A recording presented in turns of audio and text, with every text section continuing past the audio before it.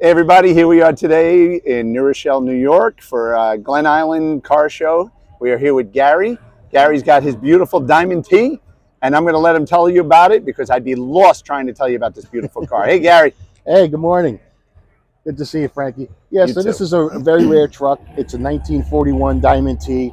They made mostly military and industrial trucks, but they did make some civilian pickup trucks, and they call them the Cadillac of pickup trucks.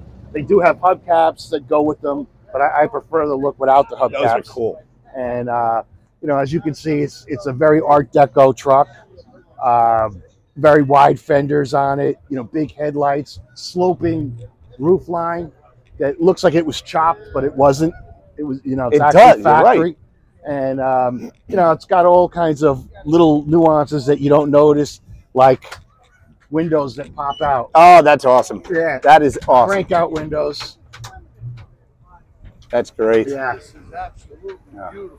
thank you, This is my best new show right here. bro. thank you. I appreciate it. So tell us more about the. Uh, how long have you had it? I've had it about six years now. I actually bought it at uh, Barrett Jackson Oh, you did? in. Scottsdale. Yeah.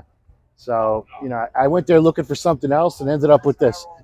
That's awesome. Well, you always end up with something at Barrett yeah. Jackson. uh, yeah. It's a great show. Um, I saw the truck and I never saw one in person before. Me neither. And, uh, you know, I just kept thinking about it. Next thing you know, I ended up with it. So, Let me get the interior again. yeah. I'm- ahead. Look at that. Look at that stick shift.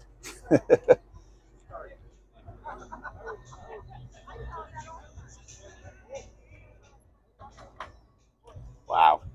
Did you have to do any work to it to restore it, or did I it come like this? I did minor things to it, like uh, the armrests, Mm-hmm. um, the door handles were pretty shot on it. Um, the uh, T in the back. Believe it or not, these trucks did not come with bumpers.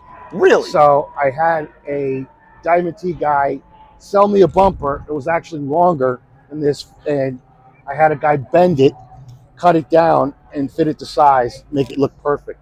I can't imagine what it would look like without it. Yeah, it was kind of plain in the back. Yeah, it looks I- perfect. painted the T here.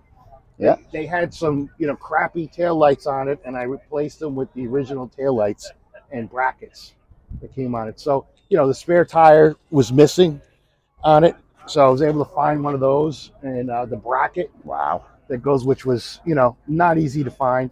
a lot of the parts are almost impossible to find. What's in the compartment? That's a yeah, a little storage compartment that uh, I actually have like wheel chocks in there That's awesome. because I there's no love it. emergency brake. Yeah. So when I'm parking on a hill, I have to put the wheel chocks on. They didn't make too many of these. Um, they made them imagine. from 41 to 49. Look at the detail Yeah, right here. yeah. It's like etching. It's gorgeous. This piece was uh, broken when I bought the truck. The tail section is typically broken off, Oh, so I was able to find one of these. I don't know how you found that. Well, believe me, it wasn't cheap and it wasn't easy to find. Look at the etching. I mean, that's Ah, just it's, so. just beautiful. you have to look close. These were thing. missing. I was able to locate Yeah. those, you know. So, and the headlights were kind of shot, so I was able to find a set of those. Oh. And uh, Gary, it is absolutely stunning truck. Thank you. I've never seen one, and I probably never will again. yeah, Except I don't have to worry about another one showing up at a show.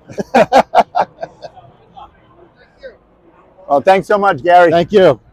We'll see you next week with another car.